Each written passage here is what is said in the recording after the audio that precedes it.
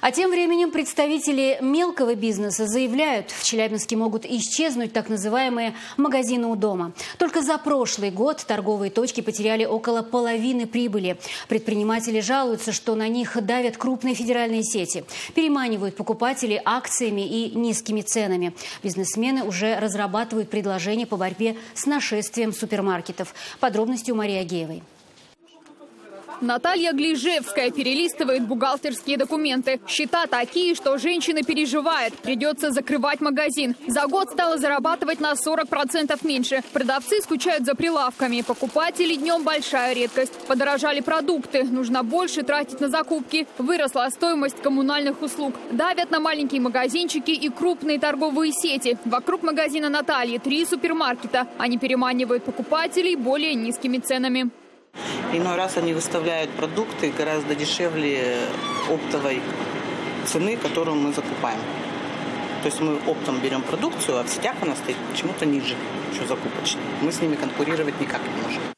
Будущее малого бизнеса в сфере торговли под большим вопросом. Большинство предпринимателей потеряли от 25 до 50 процентов прибыли. Жалуются, их вытесняют с рынка крупные сети. Эксперты объясняют, большие магазины могут себе позволить снижать цены. Охотно проводят акции со скидками. Супермаркеты покупают продукты напрямую у производителя и, как правило, по льготной цене из-за огромных партий. Маленькие магазины берут меньше, поэтому производители просят с них больше. Кроме того, небольшие торговые точки точки часто берут товар у посредников. Это дополнительная наценка. А вот федеральные сети открывают логистические комплексы. Они позволяют экономить на доставке продуктов. Федеральные сети как брали, так и берут.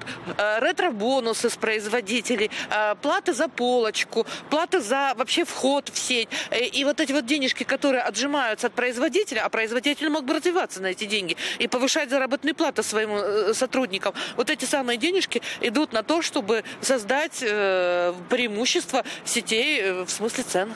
Предприниматель Игорь Кодолов столкнулся с совершенно иным давлением со стороны большой сети. Собственник помещения, в котором расположен его магазин, неожиданно заключил договор об аренде с супермаркетом, хотя договор с Игорем еще действовал. Теперь сеть пытается выжить бизнесмена с этих площадей. Уже почти пять месяцев идет судебное разбирательство не уведомив нас ни о чем, вообще ни о чем, не то что там о каких-либо других действиях, а просто решила занять наш рынок. Походив, изучив наш, наш рынок здесь, решила занять, то есть нас сместив без э, конкурентной борьбы. Мелкие магазины в последние месяцы действительно закрываются десятками. На витринах теперь все чаще объявления о продаже или аренде площадей. А вот крупные сети, наоборот, открывают все больше супермаркетов. Появились в Челябинске в прошлом году и совершенно новые федеральные ритейлеры. Сами покупатели признаются, в маленькие магазины заходят, если нужно очень быстро что-то купить или взять минимум товаров. Большинство же челябинцев отдают предпочтение супермаркетам. Больших дешевле, я думаю, что там у них скидка большая. Но я больше люблю покупать продукты в больших магазинах, супермаркетах. Где акции есть, предпочитаю покупать. В маленьких чаще всего то, что когда время поджимает, надо быстрее что-то купить.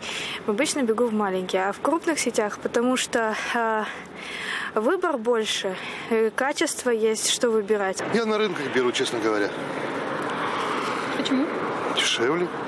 Предприниматели уже придумывают способы борьбы с давлением супермаркетов. Например, предлагают перенести все гипермаркеты за город. Так принято в некоторых европейских странах. А еще бизнесмены просят построить для них логистический центр. Местные фермеры привозили бы туда свою продукцию, а потом каждый магазин забирал бы все то, что ему нужно. Это помогло бы сэкономить на доставке и снизить цены. Есть и необычные идеи. Например, закрывать сети на 1-2 дня в неделю, чтобы в это время могли торговать только небольшие большие магазины. Кстати, о таких мерах уже задумывались даже в Минпромторге. Подобная практика сейчас действует в Германии, Испании Швейцарии. Работа крупных магазинов в выходные ограничена. Мелких торговцев запрет не касается. Мария Гева, Леонид Новожилов, ОТВ.